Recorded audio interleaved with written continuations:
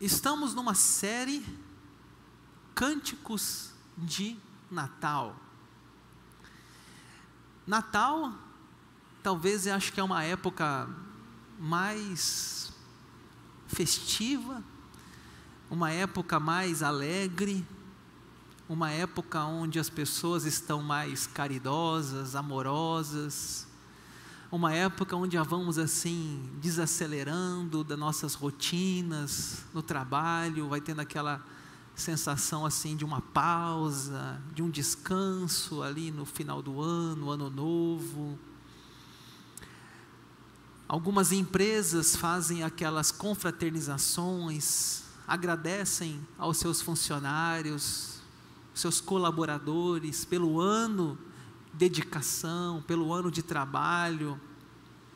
As famílias se reúnem, irmãos, os filhos, os pais, parentes, fazem aquelas comidas gastronômicas, tender, chester, peru, fazemos amigo chocolate, troca de presentes, enfim, é uma data muito abençoada, é uma data cristã, o Natal, o nascimento de Jesus. A cidade está flor... a cidade está iluminada, as decorações. Então tudo isso é muito bom. E a gente pode também refletir no verdadeiro significado do Natal. E esse ano eu escolhi para falar com vocês aqui no mês de dezembro, cânticos no Evangelho de Lucas. O Evangelho de Lucas é um evangelho da música. Temos lá o cântico de Maria, em latim, Magnificar. Temos lá o cântico de Zacarias, o cântico dos anjos e também um cântico de Simeão. Então, cada domingo, estamos vendo uma um tema desse. Semana passada, passa para mim. O tema foi Magnificat, o cântico de Maria. A Maria recebeu aquela visita do anjo. O anjo disse: Maria, você vai conceber um ente santo, o Filho de Deus, Jesus Cristo a sombra do Espírito Santo te envolverá. E ela então disse: Minha alma engrandece ao Senhor. Ela cantou o seu cântico. E nós vimos isso na semana passada. Hoje, o nosso tema é o cântico de Zacarias. A expressão, pessoal, benedictus é latim.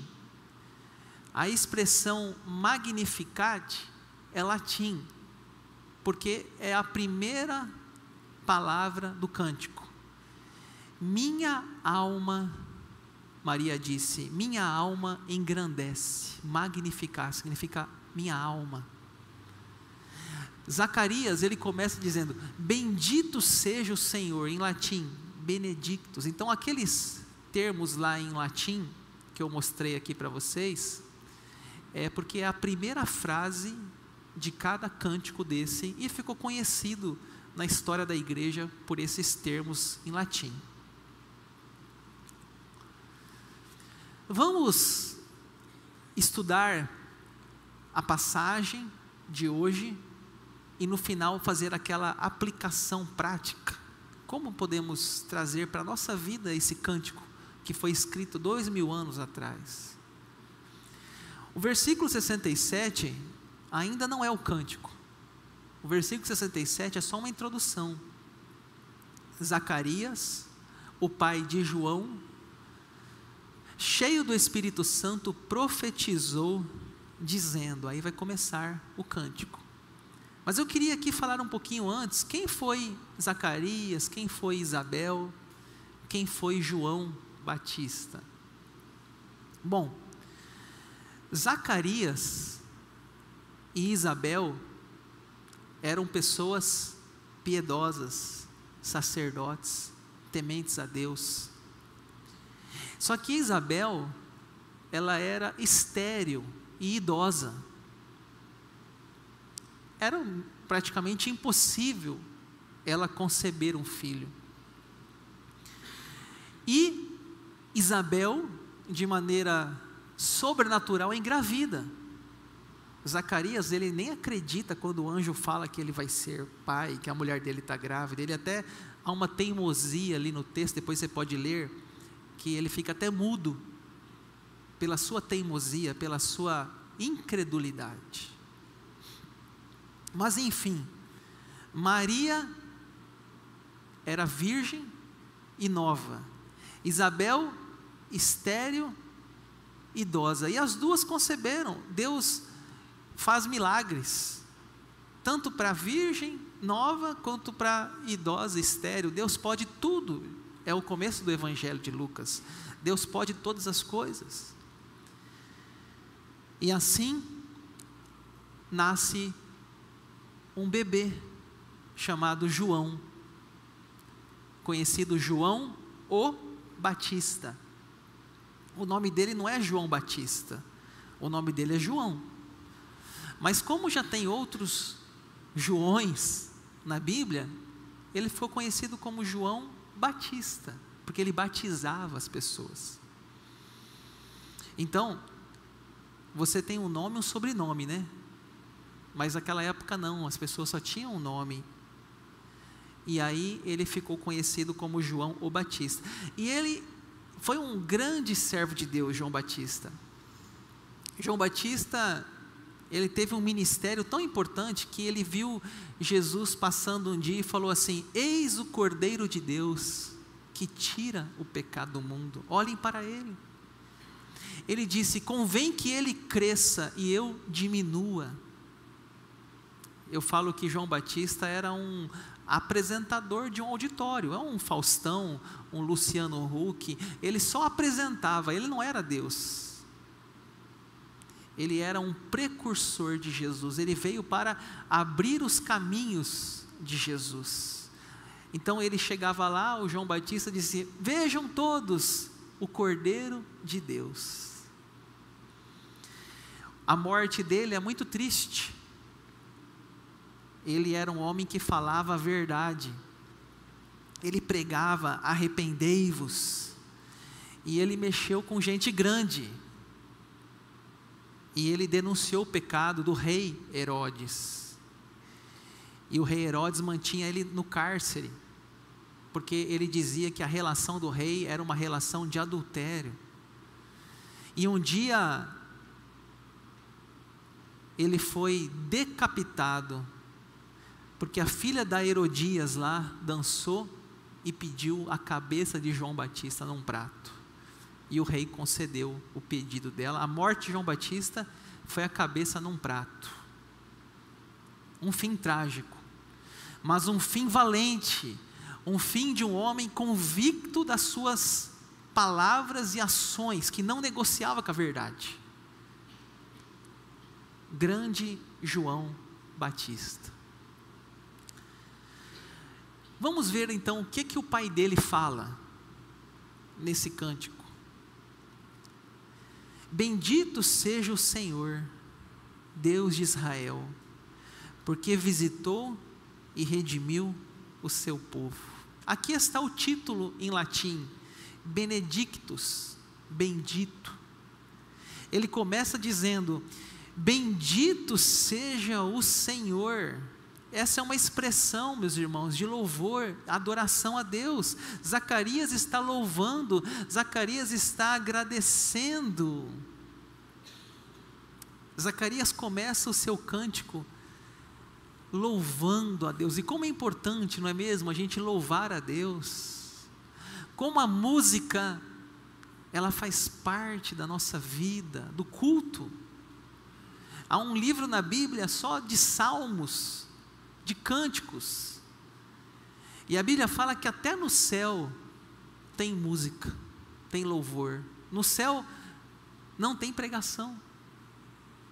No céu ninguém vai ficar pregando lá, mas no céu tem louvor e tem música. Os anjos cantam dia, noite, santo, santo, santo é o Senhor. Então ele começa esse cântico dele bendizendo ao Senhor. E assim realmente nós aprendemos que deve ser o nosso contato com Deus. Sempre que chegarmos à presença de Deus, chegar agradecendo, louvando, não chegar pedindo, né? Chega, oh Deus, me dá aquilo. Oração do Pai Nosso, né? Pai nosso que estás no céu, santificado seja o teu nome. Desenvolver isso em nossa vida, o louvor a Deus. E nos suscitou plena e poderosa salvação na casa de Davi, seu servo, como havia prometido desde a antiguidade, por boca dos seus santos profetas. Aqui, nós temos aquele homem da Bíblia muito conhecido, Davi, o rei Davi. Davi é, é citado no cântico de Zacarias, porque havia uma profecia de que o Messias viria da casa de Davi. Então, Davi era uma pessoa muito reconhecida para Zacarias, admirado por Zacarias, e ele cita no seu cântico a, a história de fé, a história bíblica, por isso a gente tem que conhecer a Bíblia. Porque quando a gente orar, a gente cantar, a gente tem que cantar a Bíblia, a gente tem que louvar a Deus pelo que a Bíblia diz, quem Deus é e o que Deus fez. Se a gente não lê a Bíblia, se a gente é um analfabeto bíblico, o que nós vamos falar de Deus? Não tem nada para falar. Zacarias conhecia a Bíblia, ele cita a história das, dos seus antepassados, de Davi, dos seus santos profetas que profetizaram, para nos libertar dos nossos inimigos e das mãos de todos que nos odeiam, para usar de misericórdia com nossos pais e lembrar-nos da sua santa aliança. Zacarias ele tem a compreensão de que Jesus está chegando, de que o Messias está vindo para nos libertar para firmar a sua santa aliança, o seu compromisso com seu povo. E do juramento que fez ao nosso pai Abraão, aparece mais um personagem conhecido aí, Abraão, de conceder-nos que, livres das mãos de inimigos, adorássemos sem temor, em santidade e justiça diante dele todos os nossos dias. Mais uma vez aqui, pessoal, você vê a, a explicação da Bíblia. Tem alguns salmos na Bíblia que eles citam Moisés, que eles citam o, o Êxodo no deserto, o maná. É importante a gente conhecer a Bíblia. Ele cita aqui Abraão, que foi o pai da fé, e ele diz aqui então que Deus prometeu abençoar do juramento que Deus fez a Abraão, e esse juramento alcançaria até o seu filhinho que estava nascendo ali, Zacarias. João Batista, filho de Zacarias, até todos os nossos dias. Agora eu acho muito bonita essa parte aqui, ó. E você, menino, aqui agora ele não está mais falando com Deus, agora ele está falando com seu filho. Ele fala: E você, menino, será chamado profeta do Altíssimo, porque precederá o Senhor, preparando-lhes os caminhos para dar ao seu povo conhecimento da salvação por meio da remissão de seus pecados. Que coisa mais bonita. Ele está falando com Deus, Deus bendito és tu, teu nome é bendito, tu levantaste Abraão, tu levantaste Davi, e daqui a pouco ele se dirige ao seu futuro filho, o seu filhinho, ele diz Zacarias, ele diz João Batista, você menino, você, menino, será chamado o profeta do Altíssimo. Aquela criança ainda ia desenvolver-se, ia crescer, mas ele já está dizendo que aquele menino vai ser um homem de Deus. Aquele menino vai ser um servo de Deus, aquele menino vai ser um profeta do Altíssimo. E ele vai preparar os caminhos do Senhor. É exatamente isso que diz o Evangelho de João que João Batista veio preparar os caminhos do Senhor, aplainar, abrir Naquela época, pessoal, havia poucas estradas. Então, quando um rei ia a uma cidade, tinha que mandar os seus engenheiros, os seus trabalhadores para aplainar o caminho, abrir estrada. João Batista seria o que?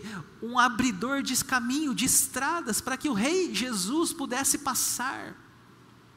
Ele não era luz, ele não era Deus, ele não era o caminho, a verdade e a vida, não, ele era apenas um profeta do Altíssimo. E o pai dele, João, o Zacarias, sabia disso, que Jesus ia dar a, a salvação, e Jesus também ia dar a remissão dos seus pecados. Muito bonito também essa poesia, agora que fala: graças à profunda misericórdia de nosso Deus, pelo qual nos visitará o sol nascente das alturas. A Bíblia chama Jesus de sol da justiça.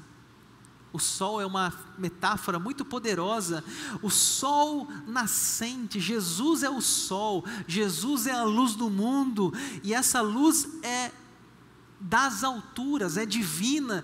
Essa luz vai brilhar nas trevas, que é exatamente o que fala o verso 79. Para iluminar os que jazem nas trevas e na sombra da morte e dirigir os nossos pés pelo caminho da paz. Jesus veio para iluminar os que estavam nas trevas e na sombra da morte. Jesus veio para dirigir os pés pelo caminho da paz. Que cântico maravilhoso que esse pai escreveu. Que cântico lindo que Zacarias escreveu, bíblico, elevando Cristo, abençoando o seu filho aplicações práticas. A primeira aplicação prática, como nós precisamos, gente, ainda hoje, como Zacarias e com Maria, usar no nosso dia a dia expressões de louvor. Você precisa estar mais atento o seu relacionamento com Deus. Porque senão a gente passa a semana toda e só fala com Deus no domingo. A gente vem aqui na igreja, canta uma música domingo, só que a gente fica daí segunda, terça, quarta, quinta, sexta, sábado, sem nenhum contato com Deus. E aí, não, agora domingo de novo. É muito distante um do outro. Já imaginou alguém aqui que vai na academia uma vez por semana? Ô pastor, estou fazendo academia, ah, é, uma vez por semana. Resultado não vai ter. Precisamos estar mais dedicados. Não só domingo, mas segunda, terça, quarta.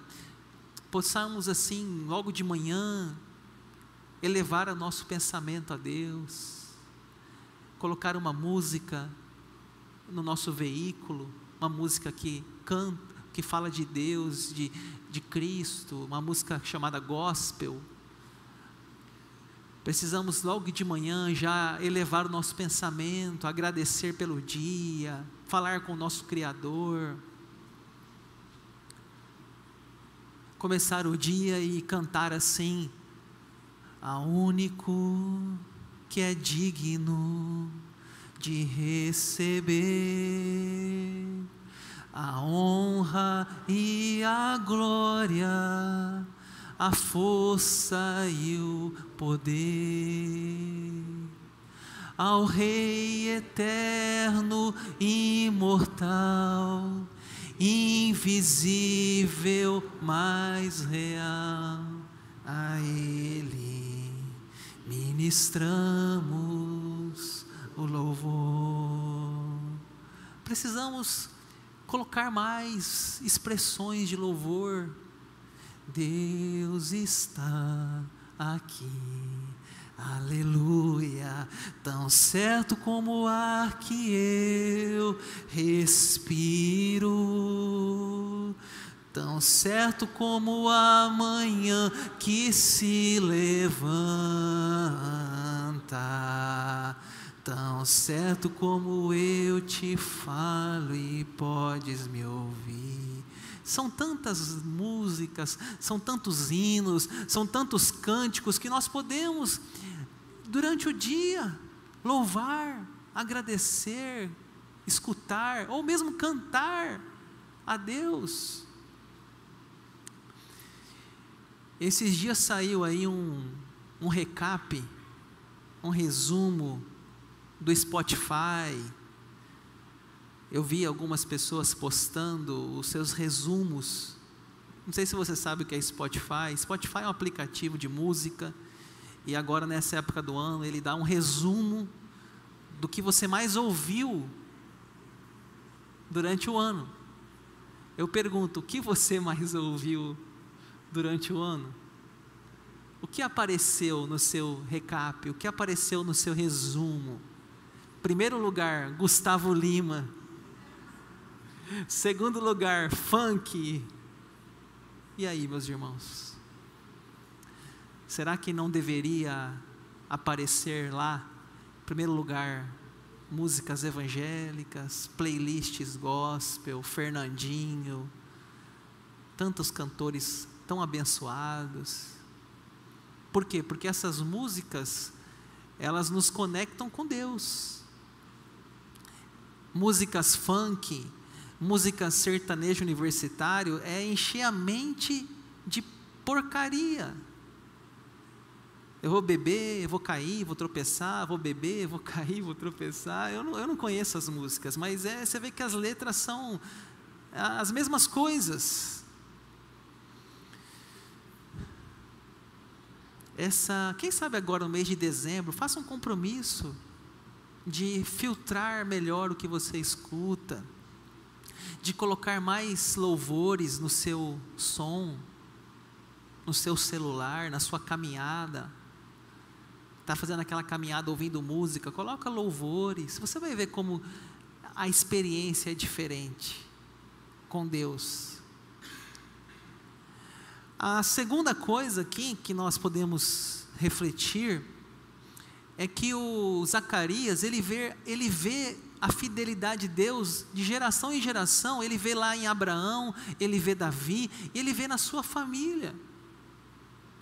E assim também nós, irmãos, Deus não está no passado, Deus está no presente.